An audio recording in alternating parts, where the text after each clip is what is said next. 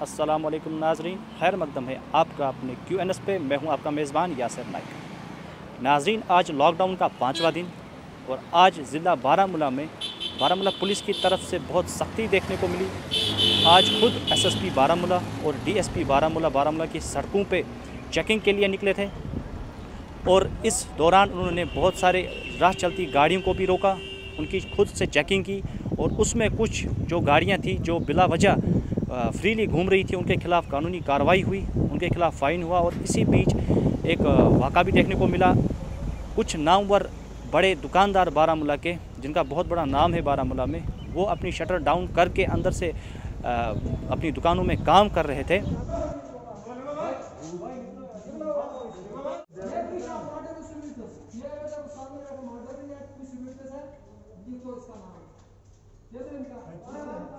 तो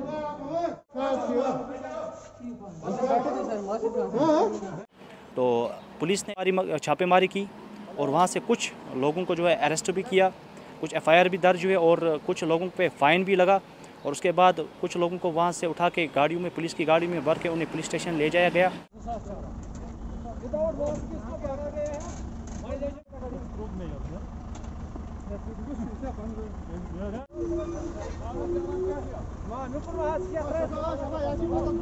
और इस पे जेकेपी का कहना है कि लॉकडाउन जो है ये सिर्फ़ गरीबों के लिए नहीं, ये उतना ही गरीबों के लिए है के लिए भी है और उतना ही अमीरों के लिए भी है। लेकिन कुछ नामवर बारामूला के दुकानदार, जिनमें कुछ ही चंद दुकानदार मौजूद हैं, वो अपनी दुकानें चला रहे हैं और जो एक गरीब है, एक मज़दूर है, कहीं कोई सेल्समैन है, वो इस लॉकडाउन की मारामारी में अभी मर रहा है। एक मज़दूर जो दिन में पाँच सौ रुपये कमाता है और शाम को अपने अहलो अयाल को अपनी रोज़ी रोटी खिलाता है उसके लिए यह लॉकडाउन बहुत मुश्किल भरा है और हमारी हुकाम से जो है गुजारिश है कि ऐसे लोगों पे भी जो है वो नज़र रखें, हेल्प करें ऐसे लोगों की, ऐसे लोगों का भी इनके लिए एक पैकेज का ऐलान किया जाए कैसे ये मज़दूर जो दिन दिहाड़ी में पाँच सौ रुपये कमाते हैं और शाम को अपनी फैमिली को ये खाना खिलाते हैं, कैसे ये सर्वाइव करेंगे इस मुश्किल घड़ी में? इनके लिए भी ज़रूर सोचें और ऐसे दुकानदार, मुझे लगता है कि लॉकडाउन जो है ये बराबर हर एक के लिए होना चाहिए।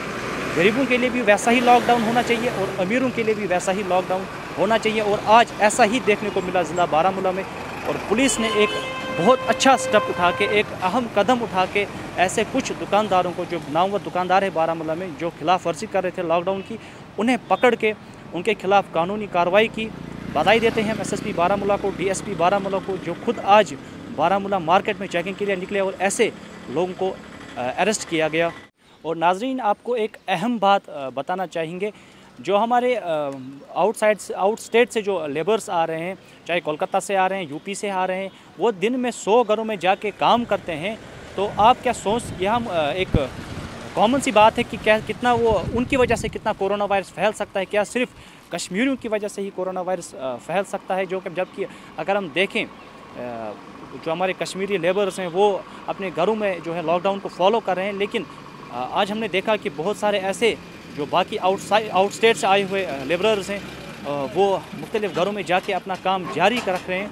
तो मुझे लगता है कि ये जो कानून है लॉकडाउन का कानून है, ये उतना ही कश्मीरी जो लेबर हैं, उनके लिए भी होना चाहिए और जो आउट स्टेट से आए हैं, उनके लिए भी होना चाहिए। इनके खिलाफ़ भी सख्त से सख्त कार्रवाई की जाए और इन्हें भी, इनके खिलाफ़ जो है, जो भी जुर्माना हो या इनके खिलाफ़ जो एफ़ आई आर हैं, वो दर्ज होनी चाहिए।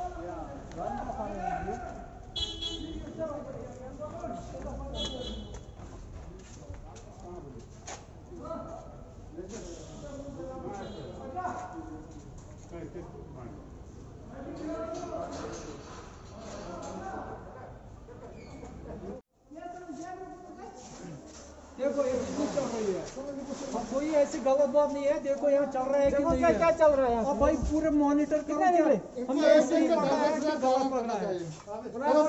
चल रही है। ठीक चल रही है। ये वायलेशन कर रहे हैं लॉकडाउन की। किसी विदाउट मास्क के